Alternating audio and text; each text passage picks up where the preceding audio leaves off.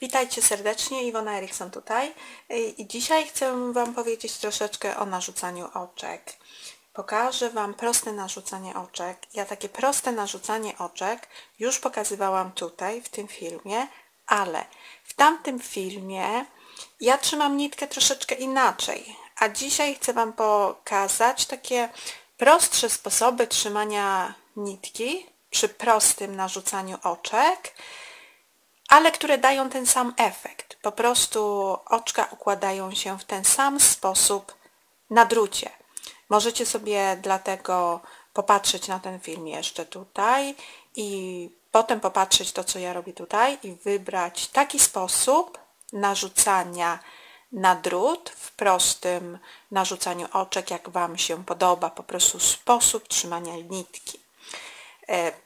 Sposób prostego narzucania oczek jest moim ulubionym sposobem, dlatego że nie potrzeba tutaj takiej długiej nitki, jak w krzyżowym narzucaniu oczek i po prostu wtedy nie musimy planować tej nitki i możemy narzucić tyle oczek, ile potrzebujemy.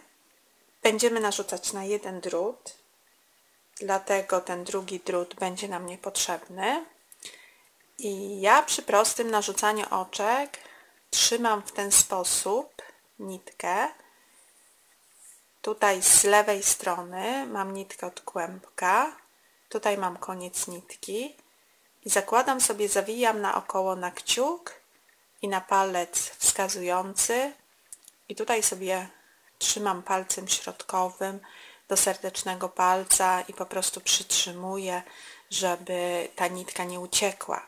Oczywiście tutaj możecie sobie y, sami powiedzmy wymyśleć technikę trzymania tej nitki, jak Wam po prostu będzie pasować. Po prostu trzeba znaleźć taką technikę, jaka jest dla Was wygodna, dlatego że nie każdy lubi w ten sposób trzymać palce. Chodzi tylko o to, żeby tutaj nitka była zawinięta e, mocno na kciuk, po prostu, żeby te nitki były napięte na kciuku i na tym palcu wskazującym. To jest najwygodniej na tych dwóch palcach, dlatego że one są obok siebie i możemy w bardzo łatwy sposób regulować naprężenie nitki. Pamiętajmy, żeby końcówka była tutaj od strony palca wskazującego. I tutaj podbieramy drutem i zabieramy tą nitkę, która jest pomiędzy kciukiem i palcem wskazującym. Tutaj od spodu, od góry spuszczamy z kciuka i po prostu mamy pętelkę. Od dołu zabieramy tą nitkę i mamy pętelkę od dołu zabieramy nitkę i mamy pętelkę. Jeszcze raz od dołu tą nitkę z przodu zabieramy tą nitkę, która jest tutaj u góry, w tej chwili już pomiędzy drutem i kciukiem, od dołu, od góry i ściągamy i zdejmujemy z kciuka i zaciągamy. Jeszcze raz od dołu ściągamy tą nitkę i zaciągamy. Od dołu zabieramy tą górną nitkę, ściągamy od dołu, to znaczy drut do przodu, zabieramy od dołu, zabieramy tą nitkę u góry kciuka, ściągamy, zaciągamy. I to może się wydawać bardzo skomplikowane, ale Równie dobrze ten sam efekt można w ten sposób osiągnąć, że tutaj robimy pętelkę. Robimy pętelkę w ten sposób, żeby nitka od drutu była pod spodem, a na wierzchu leżała nitka od kłębka i nakładamy na drut i zaciągamy. I tutaj widzimy, że osiągamy zupełnie ten sam efekt. Tak samo oczka się układają tutaj. Robimy takie okrążenie. ten sposób, żeby nitka od kłębka leżała na wierzchu i zakładamy na drut. Tak, żeby ta nitka od kłębka tutaj szła w środku pomiędzy jakby oczkiem, a tym oczkiem, które już jest zrobione. W ten sposób. Robimy pętelkę, zakładamy, zaciągamy. Robimy pętelkę i zakładamy. Robimy pętelkę, tak żeby nitka leżała na wierzchu i zakładamy. I taki sposób można wykorzystać bardzo często, jeśli w robótce musimy dodać gdzieś oczka. Gdzieś jesteśmy, będziemy na przykład narzucać oczka na jakiś krótki rękaw od razu od tułowia, albo gdzieś na jakiś kołnierz dodatkowo. Może się zdarzyć, że w robótce musimy narzucić oczka albo pod pachami. Na przykład jeśli robimy sweter od góry pod pachami przy części po prostu rękawów i wtedy ten sposób jest bardzo dobry. Po prostu narzucamy oczka robiąc pętelkę w ten sposób i zakładamy albo trzymając tak nitki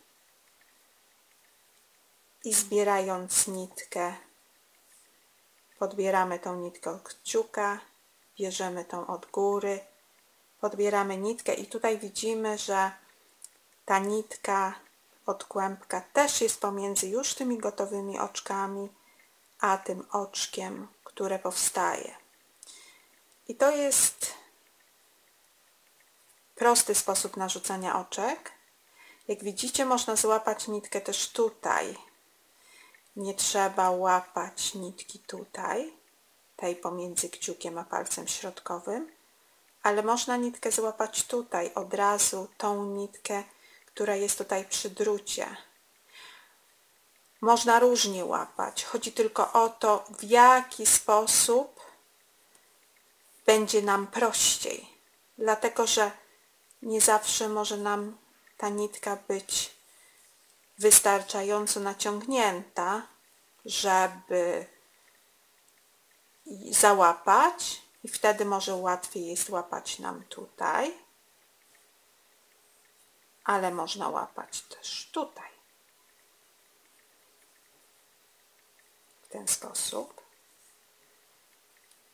Albo można robić pętelkę i po prostu zakładać. Chodzi tylko o to, żeby ta nitka z kłębka była pomiędzy tym nowym oczkiem, starym oczkiem, który już jest na drucie i leżała na tej nitce. Ona, żeby była z przodu. Widzicie, tutaj powstaje tak samo. Ta nitka jest z przodu.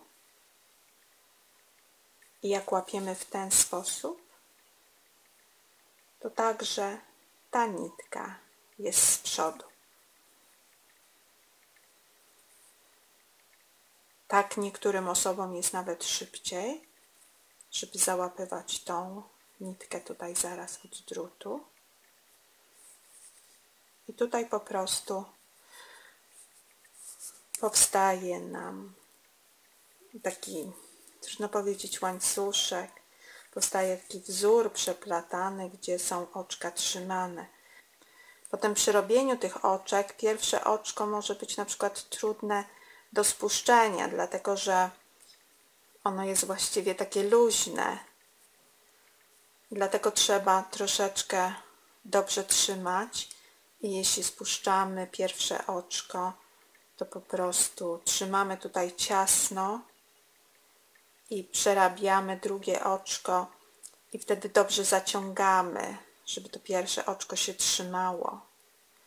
Tutaj może powstawać taka nitka pomiędzy tymi oczkami, y, dlatego że mm, jakoś się troszeczkę przesuwa z jednego drutu na drugi ta nitka przy robieniu pierwszego oczka, ale nie szkodzi, to się wyrównuje.